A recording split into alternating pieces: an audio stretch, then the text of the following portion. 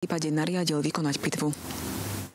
Nášho dnešného hostia poznáte ako šikovného moderátora, ktorému to páli, ako fajnšmekra, ktorý výborne varí a najnovšie aj ako herca zo seriálu Nový život. A čo si budeme hovoriť? Dnes je to zrejme najpopulárnejší Rakúšan na Slovensku. Natürlich. Tomáš Kamenár, eh, herzlich willkommen. Vielen Dank, Andrea Ivan. Ďakujem pekne. Teším Dobre. sa, že som tu. Aj my. my sa strašne tešíme. Eh, vnímate to, alebo vnímaš to, eh, Tomás, tiež tak, že si najznámejší Rakúšan dnes na Slovensku, že Niki Lauda má problém? Akože to, veľmi sa teším, že to je tak, ale nevním... samozrejme. No jasne, ale ne, nie, nevnímam to tak. Vôbec nie.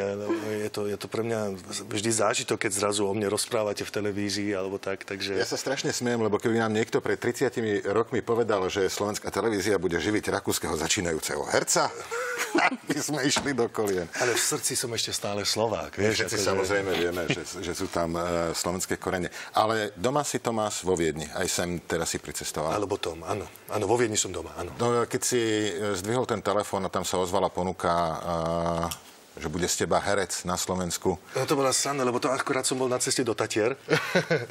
jeden, jeden veľmi dobrý kamarát našej rodiny tam má jednu chatu a s deťmi chodievame na Slovensko, aby sa učili po slovensky, aby aj tú mentalitu trošku e, vnímali a, a zavolala mi Jojka, že hľadajú niekoho, že či by som nechcel priznať dve, tri časti.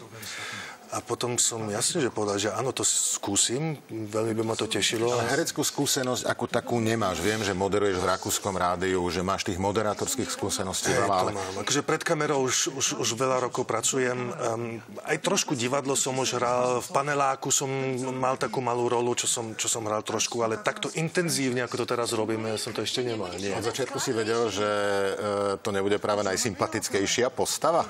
Uh, ako hej, však čítal som tie skripty projekty, ale mňa to veľmi zaujímalo, lebo nejde o to, či si sympatiák alebo nesympatiák, ide o to, aby si chytil nejak tie, alebo, alebo stimuloval tie city tých e, divákov a, a to sa s Evaldom verím, že dosť podarilo, takže...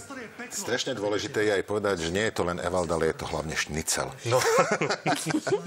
a tých nekorektných fórov voči Rakúšanom je v tom seriáli strašne veľa. No, áno, áno. Ako to berieš? Aj keď, keď sa ako odosobníš, že žiaden slovenský herec, ale že Rakúšan. Absolutne sa... s humorom, ako by to každý mal vnímať. Úplne Takže sa ideme baviť o tom, čo máš v pivnici?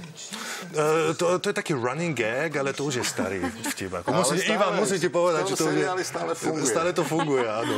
Uh, ja sa nad tým zasmiem, lebo však eh, humor je niečo, s čím aj niektoré krízy môžeš prekonať a, a tým to je úplne v poriadku, že to tam takto robia a píšu. Mňa zaujíma, že čo tvoj kamarát, lebo väčšinou tá trasa je taká, že Slovák sa prepracuje niekam do zahraničia, ty vlastne z toho zahraničia prídeš na Slovensko. Čo tvoji kamaráti na to hovoria?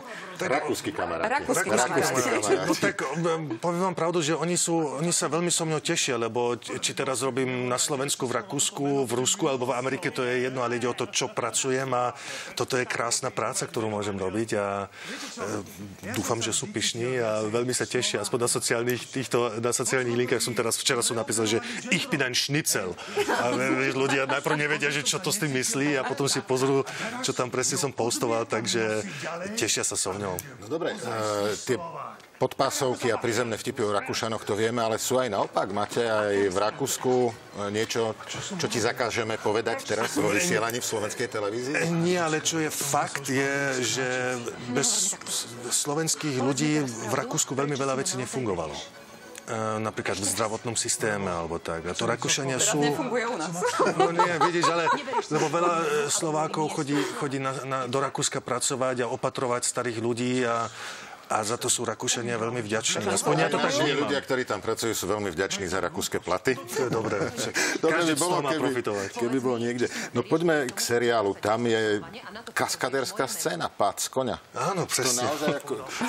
Máme to toľko peniazí. Aj kaskader tam Ja mám alergiu koňovú. Akože ja, ja som alergický proti koňom, ale veľmi som sa tešil na tú scénu a druhýkrát v živote som sedel na koni. Ale vyzerá to doma, ako som tam iš. Pozrite sa.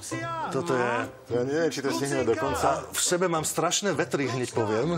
Áno, ale to, ale to som sa dozvedel, že to je vlastne chyba, ktorá sa stala súčasťou seriálu, že napísané boli... Že orkány emócií. A ja som to nejak do toho dodal, že mám strašné vetry a režisérovi sa to veľmi páčilo bolo aj... Sme to trikrát museli zahrať, lebo prvýkrát som to povedal a všetci na svete sme sa tak rehotali z toho, hlavne ja.